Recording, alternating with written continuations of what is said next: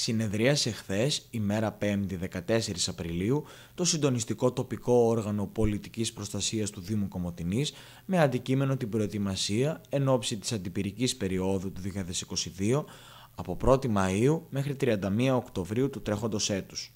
Φέτος, για πρώτη φορά και σύμφωνα με το έγγραφο της Γενικής Γραμματείας Πολιτικής Προστασίας, θα πρέπει να πραγματοποιηθούν τρεις συσκέψεις μέχρι τα μέσα Μαΐου οπότε και θα υλοποιηθεί μία άσκηση ετοιμότητας. Μετά από συνάντηση των Διευθύνσεων Πολιτικής Προστασίας των Περιφερειών με την αρμόδια υπηρεσία της αποκεντρωμένης διοίκησης και λόγω των υγειονομικών μέτρων που ισχύουν την τρέχουσα περίοδο, αποφασίστηκε να γίνει μία άσκηση ανανομό στην οποία θα συμμετέχουν και οι Δήμοι.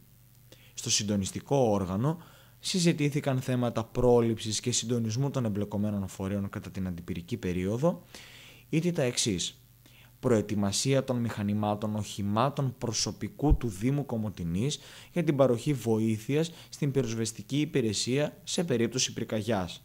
Συντήρηση δημοτικού και κυρίως δασικού οδικού δικτύου με μηχανήματα και προσωπικό του Δήμου.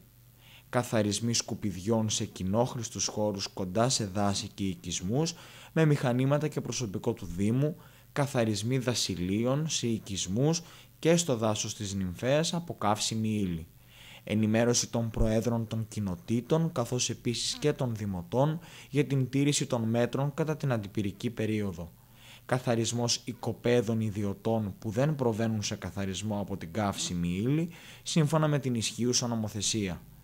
Παροχή εξοπλισμού και πυροσβεστικών οχημάτων στις εθελοντικές ομάδες Ερυθρού Σταυρού και Ελληνικής Ομάδας Διάσωσης ο Δήμαρχος Κομωτινής, ο κύριος Ιωάννης Γκαράνης, διαπίστωσε την άριστη συνεργασία μεταξύ των εμπλεκομένων φορέων, επισημένοντας την έγκαιρη έναρξη προετοιμασίας του Δήμου για την αντιπυρική περίοδο και ευχήθηκε ένα ήσυχο καλοκαίρι χωρίς προβλήματα και σε περίπτωση που αυτά προκύψουν να είναι διαχειρίσιμα.